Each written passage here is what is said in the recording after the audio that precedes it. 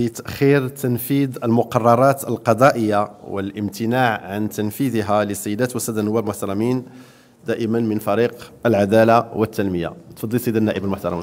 شكرا سيد الرئيس. سيد الوزير كلنا نعلم أن تحقيق العدالة يرتبط ارتباطا وثيقا بتنفيذ الأحكام والمقررات الصادرة عن محاكم المملكة. إلا أن هذه وذلك طبعا تحقيقا واحتراما لهيبة القضاء وإنصافا للمواطنين المتقاضين. إلا أن هذه الأحكام وهذه المقررات تصطدم بظاهرة الامتناع عن التنفيذ والتأخير كذلك عن التنفيذ. وهذا يمس طبعا بهيبة القضاء كما يمس بحقوق ومصالح المتقاضين. آه، لذلك نسائلكم السيد الوزير عن الإجراءات التي اتخذتموها لتجريم هذه السلوكات تحقيقا لهيبة القضاء وشكرا. شكرا. جواب لكم سيد الوزير. إذا شكرا جزيلا على إثارة هذا الموضوع الهام والذي يحظى بأهمية كبيرة في استراتيجية عمل الوزارة عقدنا اجتماعا تنسيقيا يوم 4 و 5 يوليوز 2017 مع مختلف القطاعات الحكومية لحصر الملفات التنفيذية واقتراح الصياغ الممكنة لحلها مع وضع جدولة زمنية لتصفية المخلف منها. أسفر الاجتماع عن حصر الملفات التنفيذية وانطلقت بكل محاكم المملكة حملة لتصفية المخلف من الملفات التنفيذية انطلقت يوم 17 أكتوبر الجاري وستستمر إلى نهاية السنة.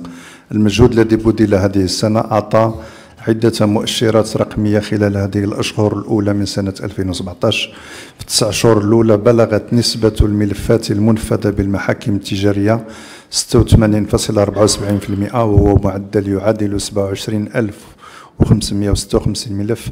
بالمحاكم الإدارية بلغت نسبة 75.92 أي 4684 ملف.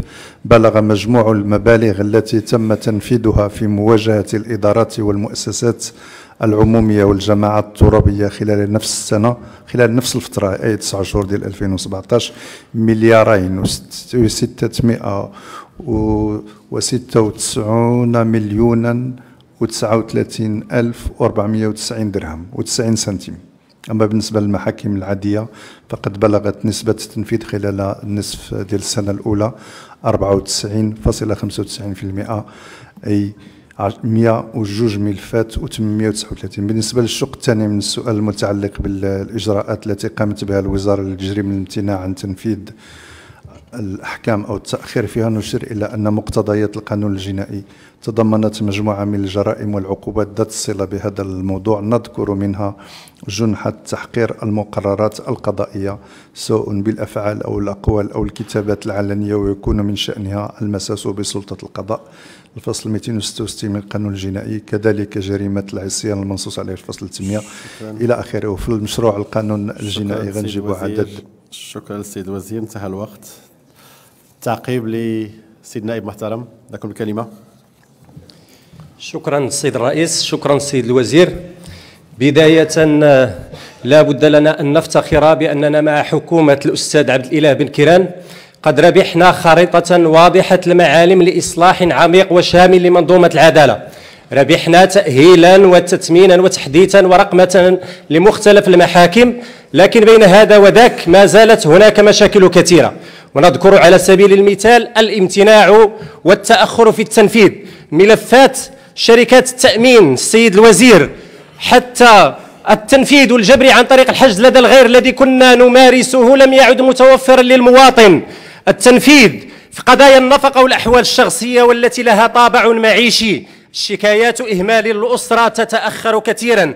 الملفات الاجتماعية كتأخر في التنفيذ السيد الوزير حتى يفاجأ العامل من بعد واحد 30 سنة ولا 25 سنة ديال العمل بأنه هذيك الشركة إما أنها سدات وإما أنها بقات بنفس الأطر الإدارية ولكن غيرت الاسم ديالها.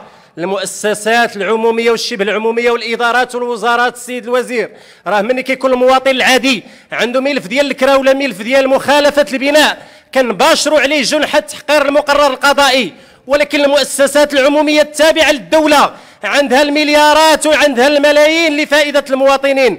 وصاحب الجلالة في الخطاب الملكي أمام هذه الغرفة في 16 أكتوبر 2016 قال بأنه بالنسبة الملفات نزع الملكيه يجب أن تعوض بالوقت المناسب وبالثمن المناسب شيء اللي ما كيتحققش في مستوى الأرض سيد الواقع. وشكرا. شكرا لكم السيد النائب محترم. هل هناك من تعقيب؟